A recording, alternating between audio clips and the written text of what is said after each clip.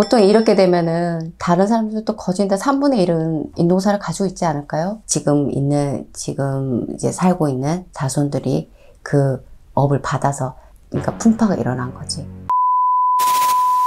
선생님 안녕하세요. 안녕하세요. 살 얘기를 해볼까 합니다. 네.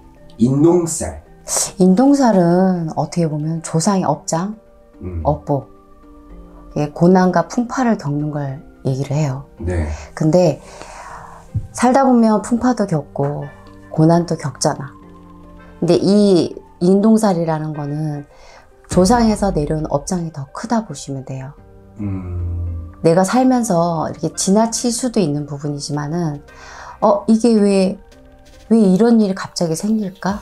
이런 게 보통 조상이 내려온 업보로 많이 보는데 그것도 해결점이 있지 않을까라는 생각도 들고 조상에서 내리는 것도 있겠지만 조상에서 막아주는 것도 분명히 있어요. 음, 인동살이라는 거는 그날 생일 날짜로 봤을 때는 1, 3, 8 네. 예를 들어서 11일, 오, 네. 13일 11일 저, 저 18일. 시간. 네.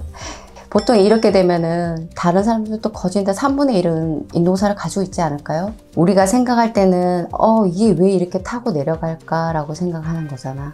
인동살이 뭐지? 왜 조상의 업장이 내가 내려와서 내가 이렇게 힘들게 살아야 되지라는 질문을 던질 거란 말이에요. 네. 근데 그건 우리가 어떻게 해결할 수 있는 부분도 아니고 네. 잘 풀고 잘 섬기고 가는 게 답이라고 예전부터 제가 앞에 채널에도 말씀드렸다시피 잘 풀고 가면 되는 부분인 거고. 인동살이라는 거는 네. 어떻게 보면은 인고의 식물 같아. 모진 겨울을 견뎌내는 식물 같은 느낌 들어요. 음, 근데 어떻게 보면 되게 막 슬프죠. 우리는 묵묵히 잘하면 되는 거고. 또 고진감래라는 말 있잖아요.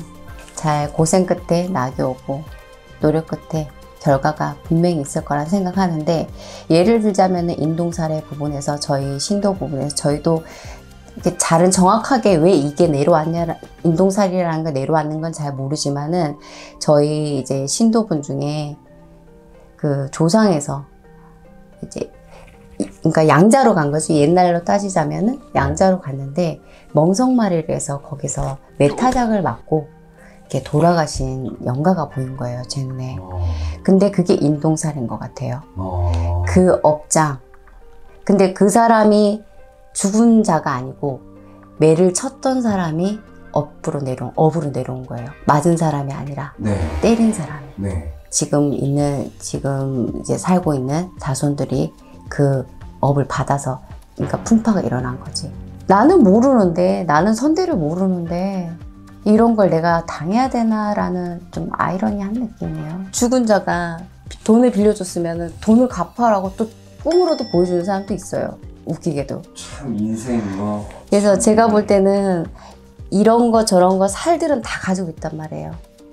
뭐 인동살이든 뭐 홍염살이든 도화살이든 네. 살은 다 가지고 이제 있는데 우리가 그걸 다 논할 수는 없는 거고 근데 우리가 더 열심히 하다 보면은 또 많이 빌고 또 이해하고 하다 보면은 그것도 또 이겨내지 않을까라는 생각도 들어요. 오늘 인동살에 대해서 알아봤는데 여기 천명단 선생님께 혹시라도 내 인생에 대한 어떤 어, 고민거리들, 문제들 여기 천명단 선생님께 한번 문의 주시면 감사하겠습니다. 오늘 인동살에 대해서 알아봤습니다.